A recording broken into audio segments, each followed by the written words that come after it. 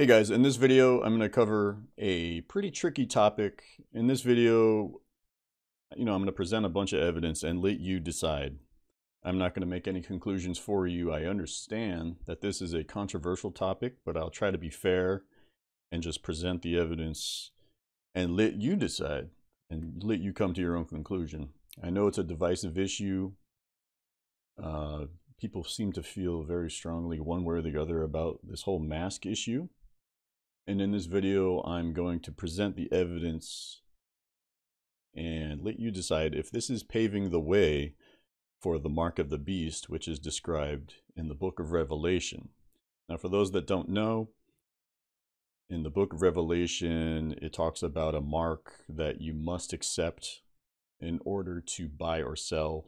Basically, a mark, a some kind of token in your body that you must accept in order to participate in the economy. And I recently put out a viral tweet on this topic. And I, in my tweet, I say, hey, I think this issue is going to separate the wheat from the chaff. And I basically implying that this is paving the way towards the mark of the beast system. But let's go over the evidence and check it out. And you'll see, and you can decide what you think. You know, is this really where it's going or not? And I think the first thing we should cover is this patent right here. And this is, you know, the strangest thing about it, of course, is that it's, what's this WO? I'm not sure what WO stands for, but that's, you know, the number of it is 2020-666. And it's peculiar that this system would just happen to have that number. But, uh, so obviously that's a little bit alarming that a, and what this is, is this is actually like a cryptocurrency system that would connect to sensors on your body, some kind of biometrics that would that would wirelessly communicate with a server, and by performing tasks, you would basically earn money. So, you know, that sounds complicated or whatever, but basically, if you want to boil this down, what it is is it's basically turning real life into World of Warcraft. Okay. So basically, you run around and you do quests, and then you earn money so basically, and that's all based on some kind of sensor that is either, and I read through the details of this article and it, it wasn't really clear if this was worn biometrics, something that you wear like a watch or like an Apple Watch sort of thing, or is it something that you have to embed within your body? Now, I think the ultimate goal here, they don't say it, but I do believe the ultimate goal here is to embed it inside of your body, and I'll explain why. I mean, the main reason is really because it's the only, it's the best way to verify that it's actually yours. Because physical tokens can be traded around, other people could use them. It, doesn't, you know, when you're using two factor authentication, you usually have like a password. And then the second thing you have is something you have, right? So something you know plus something you have. And something you have is not great because you can always give it to someone else. Be like, hey, or take my token.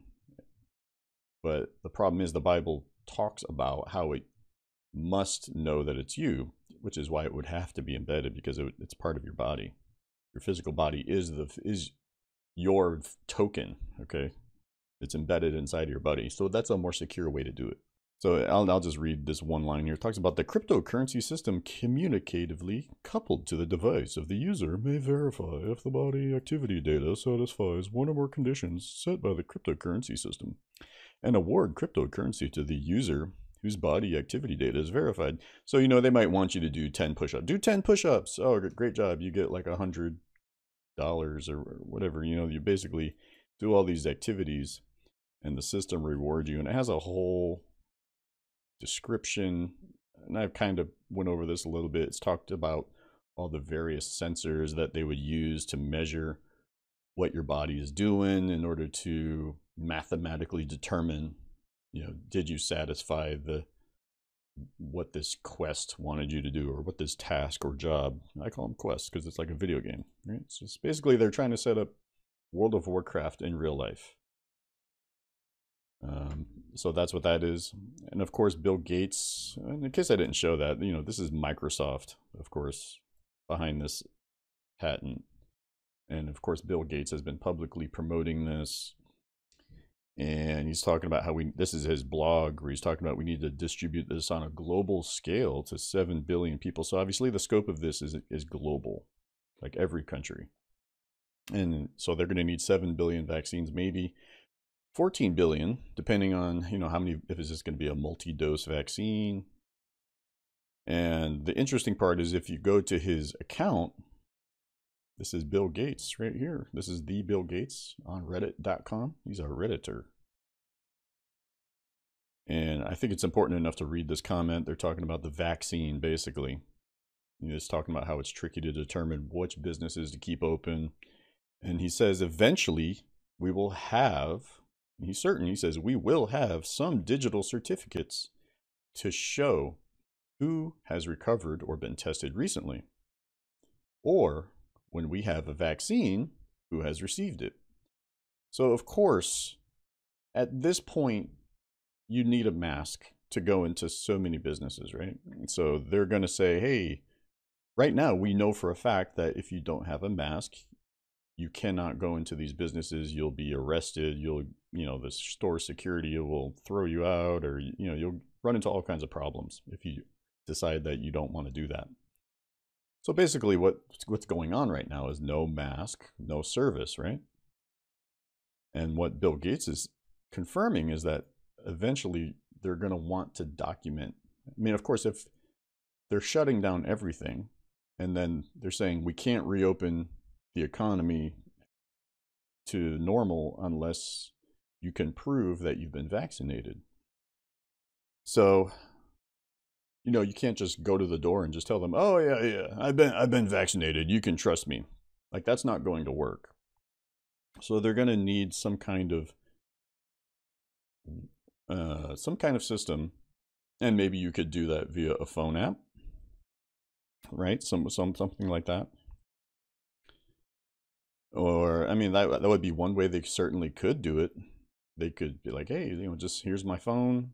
It says I got it. It has a little check mark. Maybe you scan it at the scanner at the door or something like that, and that's the only way you get into the store. And there would have to be someone at the door checking that. That's one way they could do it. Or they could if they're planning to go ahead and just put it inside of your body, that would be even easier because that, that way you would never lose it. Uh, it would be stored inside of you.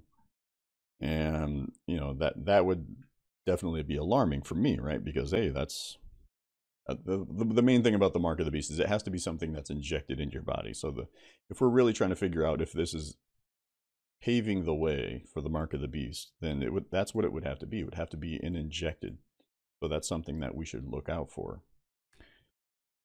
And concurrently in the news, what's interesting is there's all these signs, right? So as a Christian, I'm looking for all these signs, you know, thinking, is this really it? Or is this, you know, or is this just a, pandemic where, you know, we're just going to get a vaccine and boom, that's it. Crisis over. Everything goes back to normal. Everyone gets their vaccine. Literally nothing happens. Everything's fine and you know it wasn't the mark of the beast but i'm looking at the news and there's all these signs you know they're saying hey now there's a coin shortage because of because of covid-19 and we're going to have to you know the headline says yes there's a national coin shortage here's why so if they keep pushing this as well you know they could easily justify going cashless because money is a great way to transfer all kinds of germs and disease. In fact, I'm surprised that we haven't seen that pushed. So that's something that I think we should definitely watch watch out for going forward. If this continues to escalate, then we'll know. Well, I wouldn't say we'll know, but it would be it would point to the fact that this is moving towards a system towards a cashless society, because that is another requirement. And this is just simply a sign on a store. You've probably seen, perhaps you've seen this at a store yourself, talking about a coin shortage because of coronavirus. Um, and you know this this article debunks it, talking about how you know patent application 666 is not a big deal, and what it says here, I'll read it. it says it is true they do have that patent for a system which rewards physical activity with cryptocurrency, but it is it does not reference injectable microchips, and that's true. So, the, so I guess the question is something that we have to watch for and be vigilant about is will it steer towards that? Is that going to change? And they're going to be like, oh, guess what?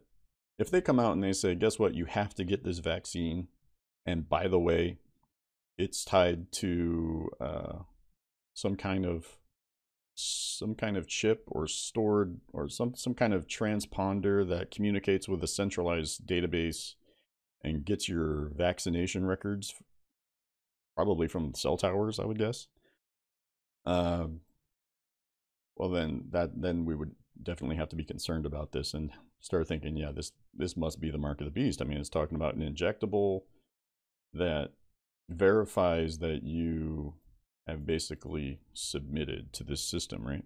In order to buy or sell.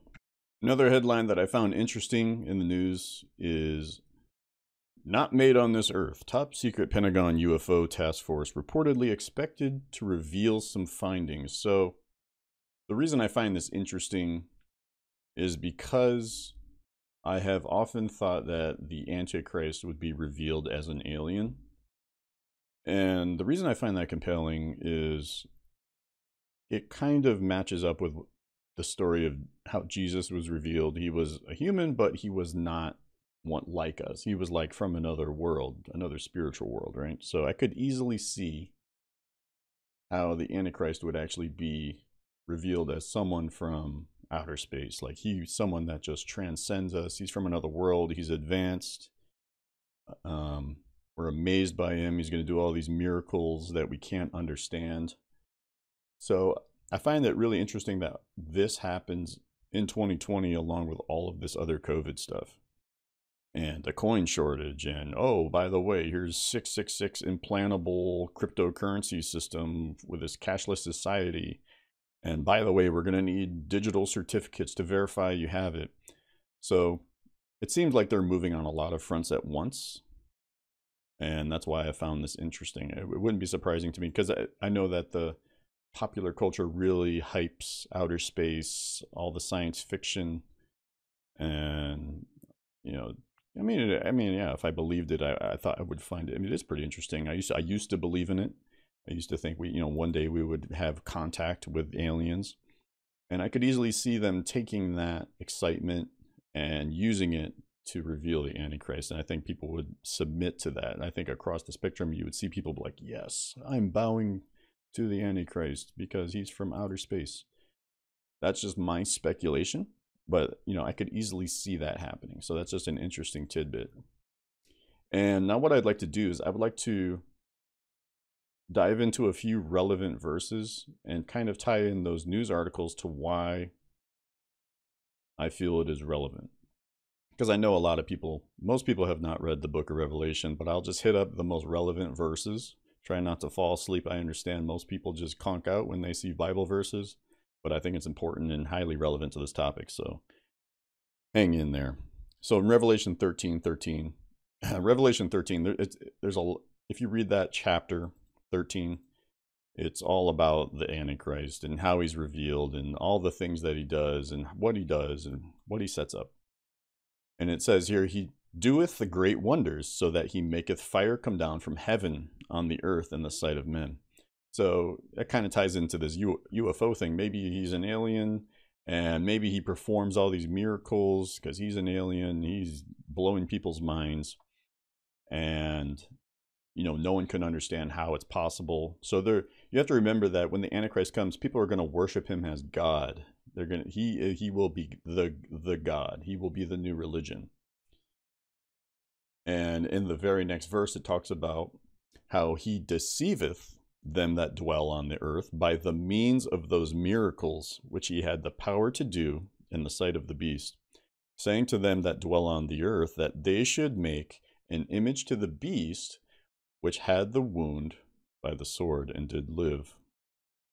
So basically, he's going to perform all these miracles and just amaze people and then people will worship this image right?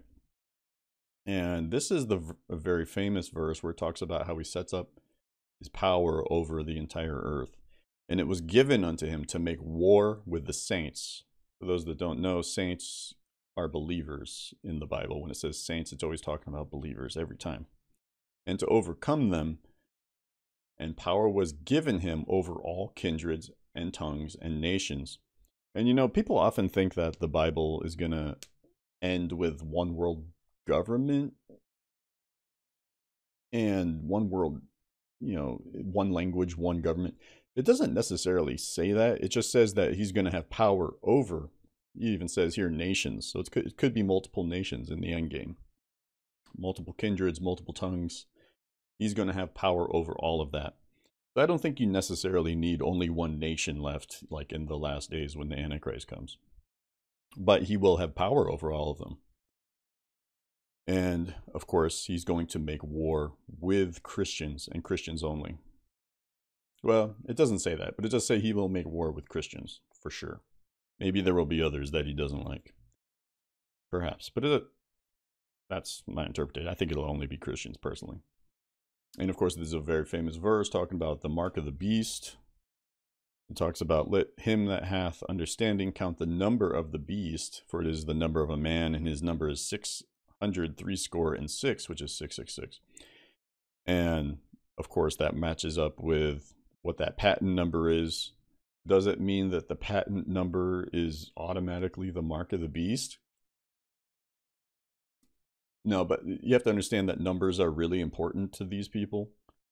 You know, they love their 666s, they love their 33s, they they love letters that convert into those things like if you actually do a reverse cipher on National Aeronautics and Space Administration, it actually adds up to 666. I mean, there, there, there's there's all kinds of things you can dive into that are just insane that have to do with numbers and and because they'd like to communicate through symbols and numbers because that's they want to put the information out there, but they don't. They were like, they like to spiritually confess things and let the world know about these things. But it's kind of like a calling card, right? Like a criminal does something and then he leaves his calling card. It's the same idea. They like to reference certain numbers or certain things that have inside meaning to certain people. Um, so you know, maybe they just happen to make sure they hey make sure make this picture this patent number is 666 just because we think that's funny or maybe we just want to troll christians or whatever I mean, that's the kind of stuff they're into. Um, let's actually go to this verse first, because this is actually first. He causeth all, both great, small and great, rich and poor, free and bond, to receive a mark in their right hand or in their foreheads. And the reason for that is you, you have one or the other. Normally, you're going to want it in your hand. But if you don't have hands, you're going to get it in your forehead, right? Makes sense and that no man might buy or sell save he had the mark, or the name of the beast, or the number of his name. So 2,000 years ago, they're predicting you're going to be tied into a database. And if you're not in that database and you don't have the digital token that Bill Gates is talking about, then you're not going to be able to buy and sell. So this is the connection to the mask and how the mask is could be, uh, could be, you decide. I believe it is, but it could be the social conditioning in order to eh, make you accept when they say, hey, if you don't have this digital uh, certificate verifying that you got a vaccine, then you're not going to be able to participate in the economy. And you're like, oh, you can just go to Amazon. Well, you know, they could actually end up enforcing that through websites as well, because most shopping is done at like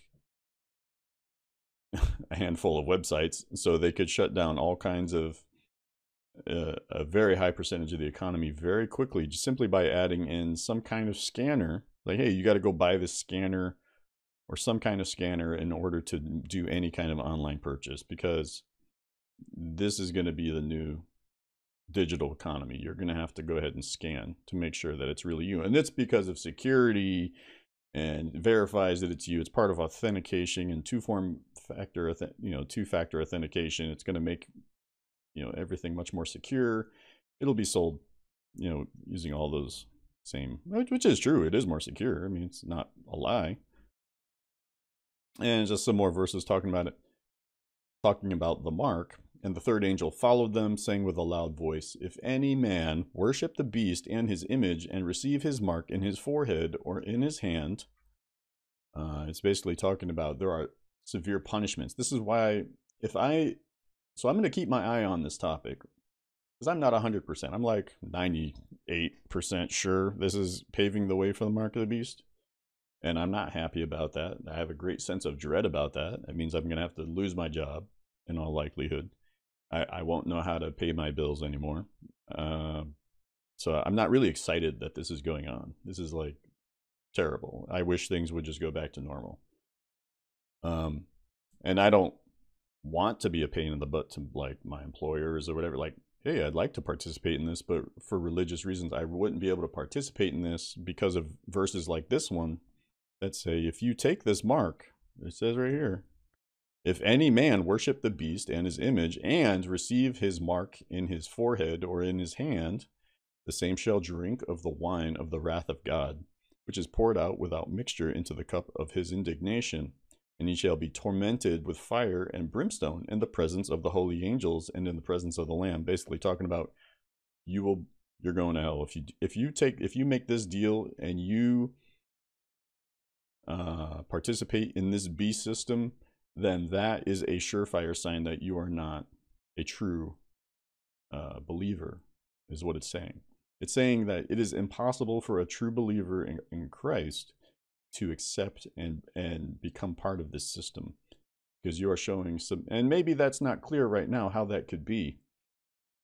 But I'm saying be vigilant and see how this unfolds in the news. See how what they reveal and when they reveal it. Because it's going to get crazier and crazier. I don't think this thing is dialing back anytime soon. You, you think 2020 is crazy? It's going to get crazier. I, I don't think it's done being crazy. It's going to get crazier and crazier. And I, I know a lot of people think, a lot of people out there think, oh, after the election, everything will stop. This is just to create a bunch of chaos before the election. I don't think that's true that's all the evidence I have, guys. I, I hope that made some sense. It was, I know it was kind of all over the place, but it, it's kind of a tough topic for me to tackle just because there's so much, and I understand that a lot of it is speculative and kind of connecting dots between data points that don't aren't necessarily 100% clear. For example, they're not really saying, "Hey, we're going to inject this right into you." They're, they're not going to come out and say that because they they know it sounds crazy.